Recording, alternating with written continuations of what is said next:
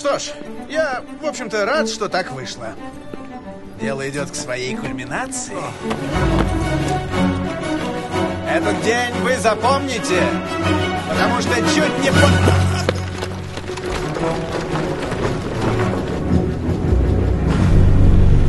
Идиот, он все равно от нас не уйдет.